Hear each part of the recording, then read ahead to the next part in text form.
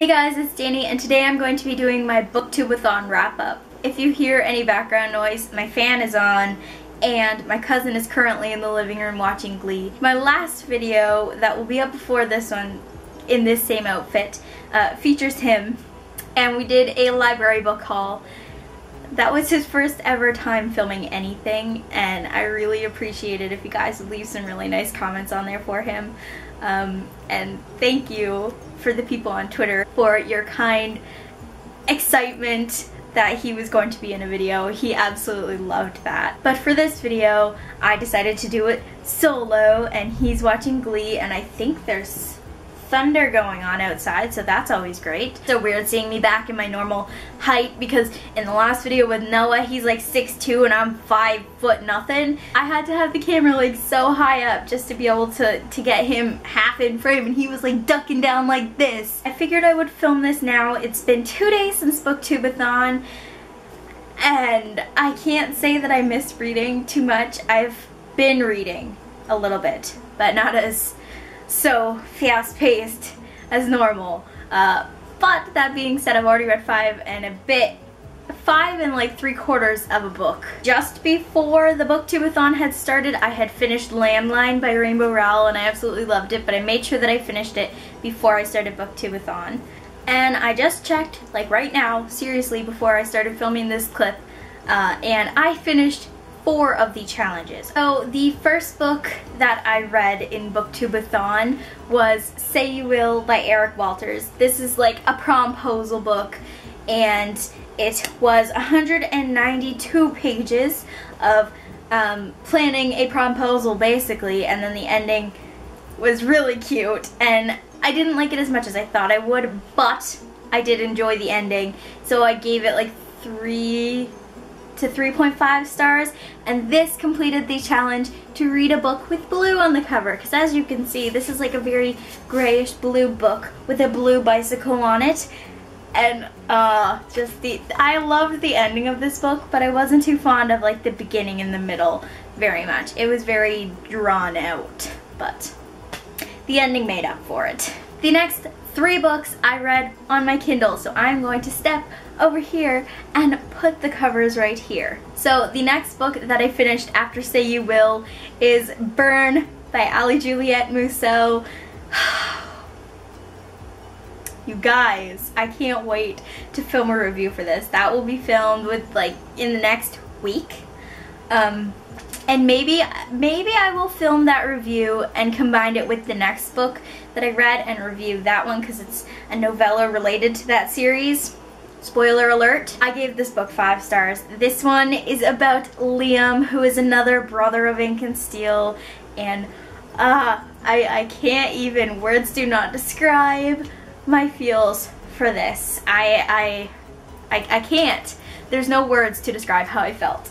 But this book counted for the book that I really wanted to read. Originally it was going to be the last letter of the name of the author that matches the last letter of your name, which is M, but that is the next book instead.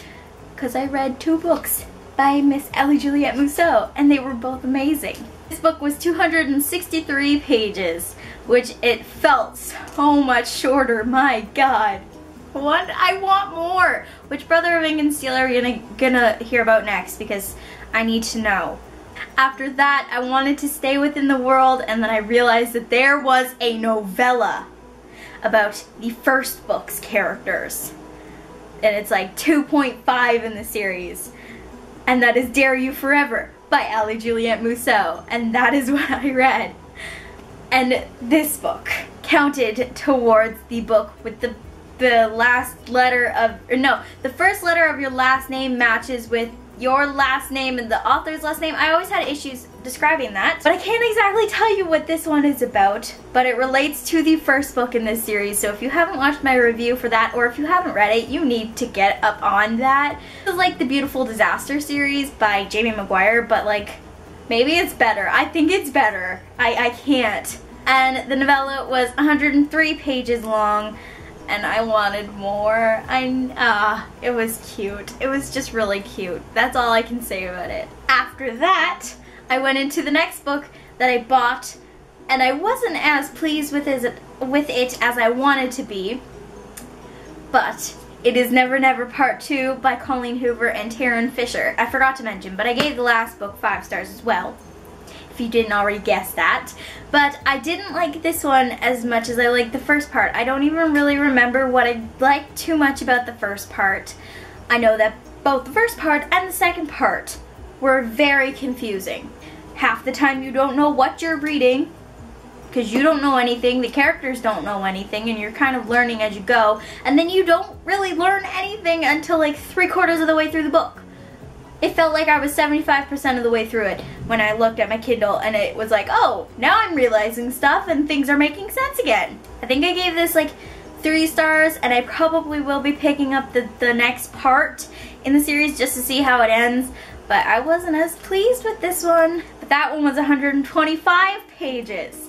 I know, I read a lot of smaller books, but I did get a lot of books read, so I'm proud of myself. And the last full book that I did manage to complete during Booktubeathon is Beautiful Oblivion by Jamie McGuire. This is the companion series start to Beautiful Disaster by her, uh, and Walking Disaster, which is the companion novel to Beautiful Disaster. That's confusing. This is 320 pages long, and it is about Travis's brother Trenton and his attempt at love with a girl named Cami.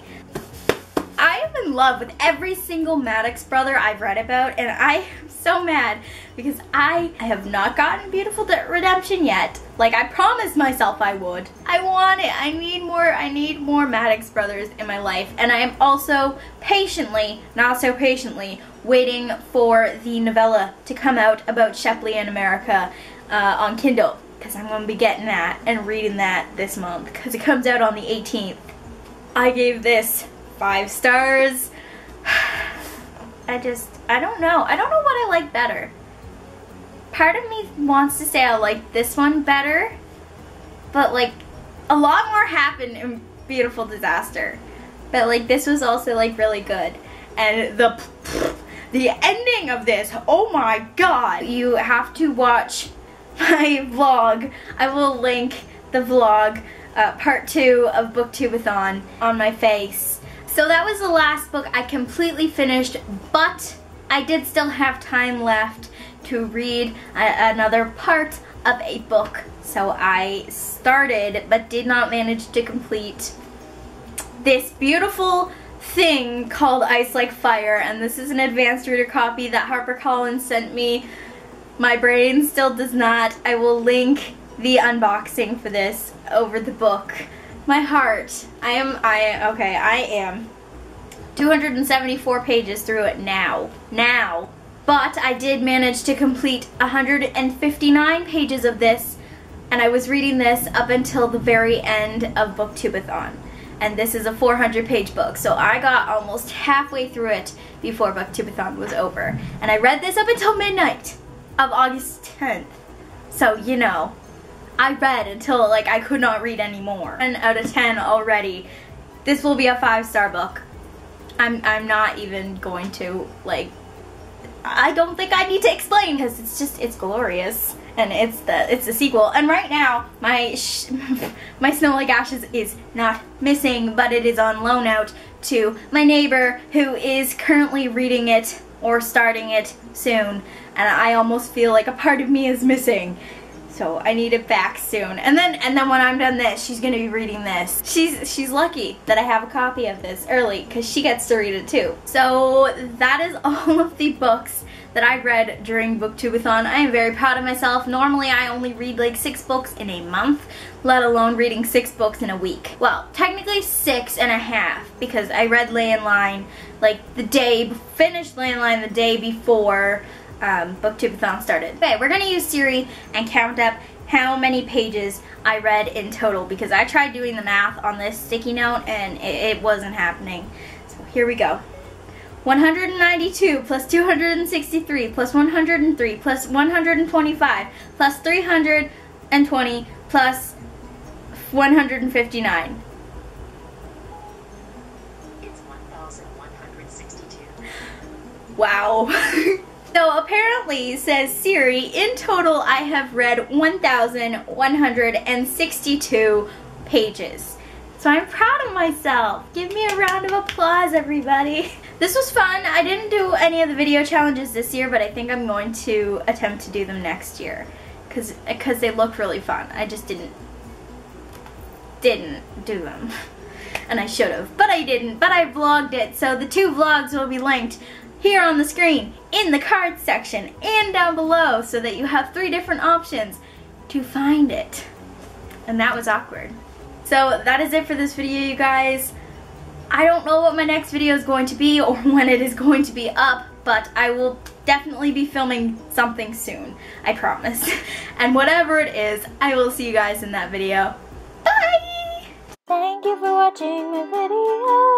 Hope that you really enjoyed the show. Hit the subscribe button down below and go and read some books.